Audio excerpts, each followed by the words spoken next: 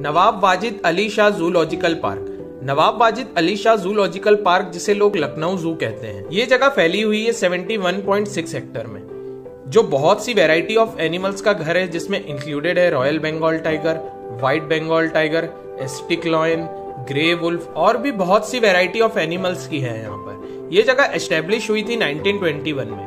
पहले इस जगह का नाम था Prince of Wales zoological garden बाद में इसका नाम रखा गया Nawab Wajid Ali zoological garden in 2015 ये जगह एक बहुत ही पॉपुलर टूरिस्ट डेस्टिनेशन है। यहाँ पर एक मिलियन से ज़्यादा विजिटर्स आते हैं एनुअली ये बहुत ही पॉपुलर स्पॉट है लोकल्स और टूरिस्ट के लिए। अगर आप जू देखने जा रहे हो तो कुछ एडिशनल टिप्स है आपके लिए। ये जगह आपको पड़ेगी नियर सिविल हॉस्पिटल नहारी हजरतगंज लखनऊ उत्तर प्रदेश में। ये जगह सुबह नौ से शाम के पाँच बजे तक खुली रहती है। और ये हफ़्ते के सातों दिन ओपन रहती है। और इसमें जाने के लिए एंट्री फ़ीस है, जो कि बड़ों के लिए है पचास रुपए और बच्चों के लिए है पच्चीस रुपए। ये बहुत ही बढ़िया जगह है जहाँ पर आप अपनी फैमिली और फ्रेंड्स के साथ जाकर काफ़ी अच्छा टाइम स्पेंड कर सकते हैं। और यहाँ पर आपको बहुत कुछ देखने को मिलेगा और सीखने को।